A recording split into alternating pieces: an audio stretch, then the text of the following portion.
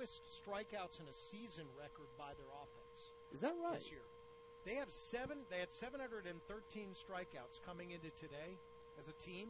The fewest ever in a season is 992. They're not going to come anywhere near that. They might come under that by 150, even more, in fact. That's pretty amazing. It really speaks to Stubby Clapp and his ability as a hitting coach, teaching these players to play contact baseball and not give up on at bats. Kevin Nolan taking off on the first pitch.